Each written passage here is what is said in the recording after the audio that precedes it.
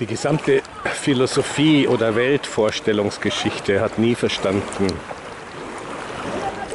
dass diese beiden unversöhnlichen, inkompatiblen Seiten zum Gesamtsystem, zur Gesamtstruktur aufgehetzt, anaximandrisch durch das Rhizom, durch die dritte Seite gehören. Dass es immer diese Unkompatibilitäten von parmenideischer gegen heraklitischer Seite, die beiden Begehrensabwehr, Abhangstrukturen des Histrionischen gegen das Zwanglianische auf drei verschiedenen Ebenen immer den Geist gegen den Körper und et vice versa, Frau gegen Mann bedarf in ihrer unübermittelbaren Unverständlichkeit.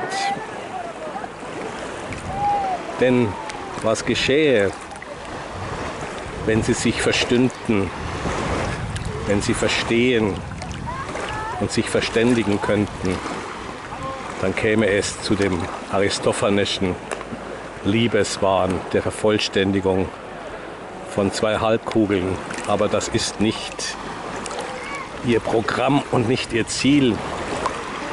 Es geht immer darum, dass sie sich bekämpfen aufeinanderknallen, sich wechselseitig entrechten, zerstören, aufheben sollen, um aus Restbruchstücken dann das Tertium, die Drittveranderungsproduktionsserie zu machen.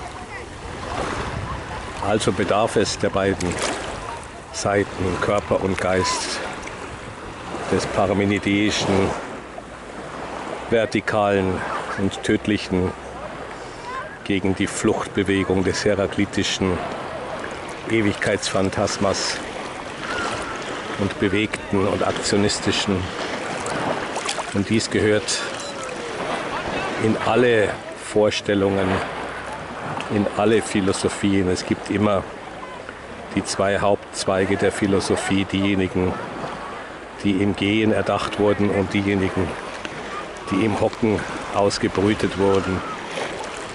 Es gibt immer die Weltvorstellungen von Religionsstiftern, zum Beispiel zur Pragmatik des Lebendigen zurückzukehren.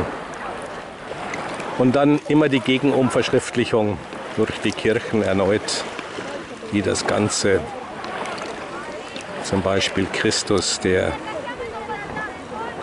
den Leib, die Aktualisierung das Nicht-Göttliche, sondern das Menschliche propagierte.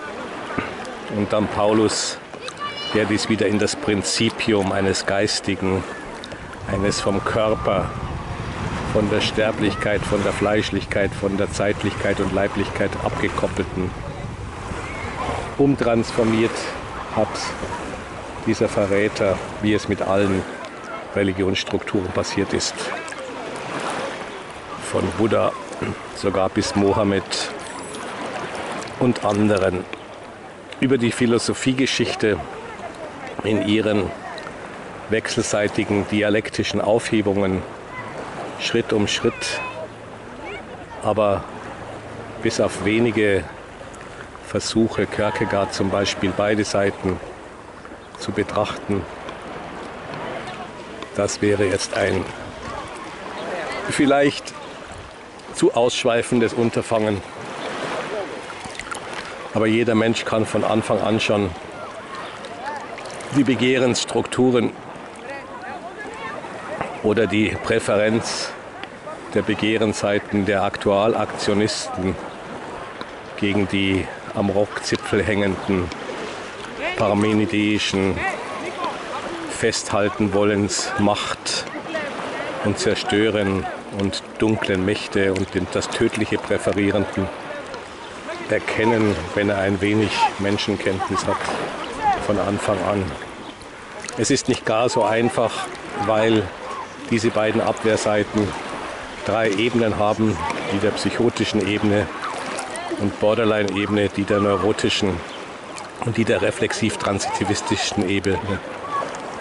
Die komplexesten sind die dritte inversiv-masosadistische Machtstruktur, wie wir sie bereits am Beispiel von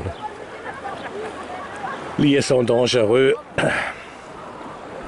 oder anderen illustren Werken beschrieben haben.